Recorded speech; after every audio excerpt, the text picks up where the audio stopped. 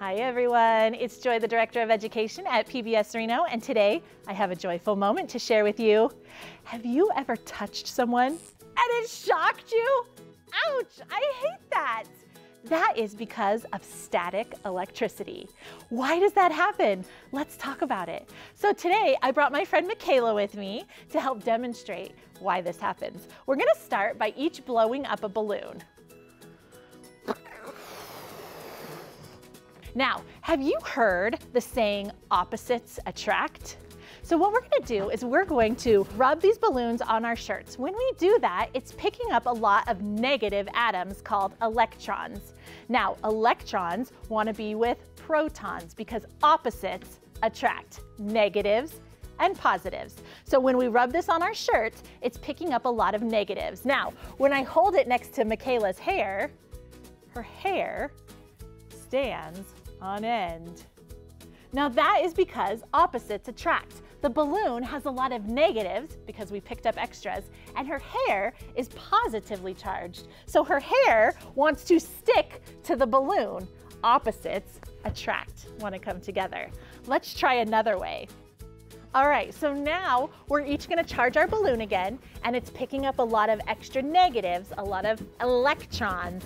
Now what we're gonna do is we're gonna hold it right by our ping pong ball over the top of it and move our balloon around.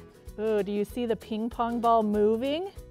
When I move my balloon forward, the ping pong ball moves forward. When I move it to the side, it moves the ping pong ball to the side. Again, opposites attract that ping pong ball wants to come and be near my balloon because it's positively charged and my balloon is negatively charged. Opposites attract. Should we try another one? All right, let's charge our balloons again. Picking up extra electrons again.